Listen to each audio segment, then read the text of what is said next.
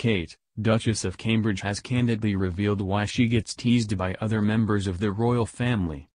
Despite being a pro when it comes to meeting new people and attending official engagements after marrying Prince William eight years ago, she still gets teased by the royals for something she did the same year she and the Duke of Cambridge tied the knot.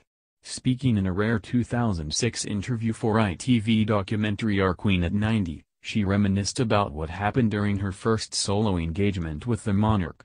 She said, The most memorable engagement for me was an away day to Leicester. I went without William, so I was rather apprehensive about that. I think there is a real art to walkabouts. Everyone teases me in the family that I spend far too long chatting. So I think I've still got to learn a little bit more and to pick up a few more tips I suppose.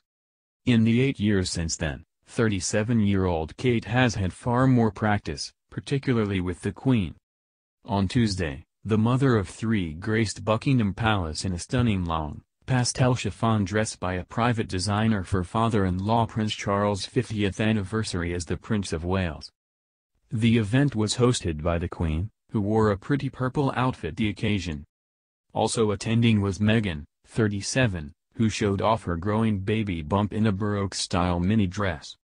The two appeared to put their differences aside in what was their first joint engagement since Christmas. A row between the pair was said to have started when Kate was left in tears during daughter Princess Charlotte's bridesmaid dress fitting for Meghan's wedding to Harry in May. Royal sources also claimed the Duchess of Cambridge confronted Meghan for being too harsh on members of her staff. And Meghan has faced more criticism within the royal households, according to other sources, who claimed she has been branded Duchess difficult by members of her staff for being demanding. However speculation over the alleged royal rift went into overdrive when Meghan and Harry announced they were moving out of the Kensington Palace home they shared with Kate and William, and into Frogmore Cottage located 25 miles away.